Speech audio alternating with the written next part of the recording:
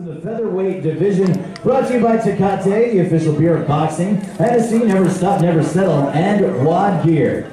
Let's meet first, fighting out of Cotabato in the Philippines with a record of 26 and 6, 18 wins by way of knockout. The former WBO Asian Bantamweight Champion, please welcome the smooth operator, Rolando Magbanua.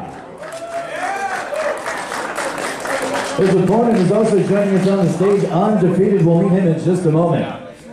Magbanua on the scale right now. 125.6. 125.6 for Magbanua from the Philippines, the former WBO Asian champion. And next, making his way to the scale, undefeated, 18 bouts, 18 victories, 10 coming by way of knockout from Glendora, California. Ladies and gentlemen, Joet Gonzalez.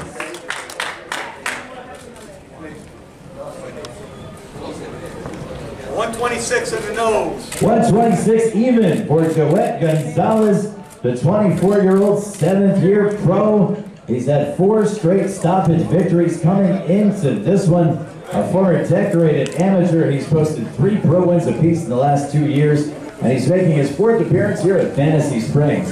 He'll take on this man, Rolando Magbanua, as we get ready for our photo up here. Magbanua, 33 years of age, 12-year professional. This is his USA debut.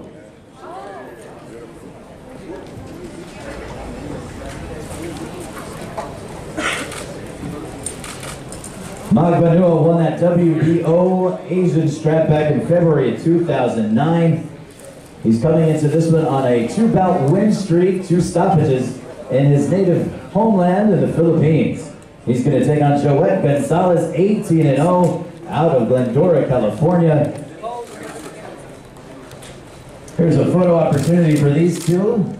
They'll be battling on E ESPN 3 tomorrow evening, or right here at Fantasy Springs.